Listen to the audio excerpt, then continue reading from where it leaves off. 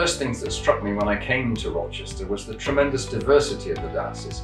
Uh, we go from two London boroughs, Bromley and Bexley, urban metropolitan life. Uh, we've got the ancient Medway towns along the Thames with all their tremendous history.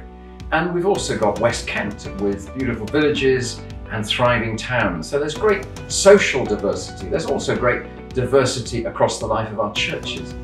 The second thing that struck me was the people.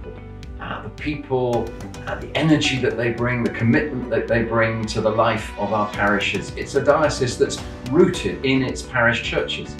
Uh, there's a great sense of energy, of desire to move forward together for the sake of the gospel.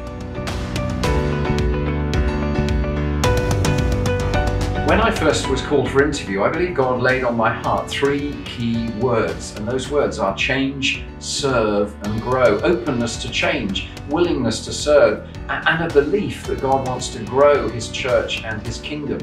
Uh, so those three key words have been fed into our emerging diocesan vision. Uh, the title now is Seeking First the Kingdom of God. We are called together to change, serve, and grow with compassion, courage, and creativity that's what we've been working on together.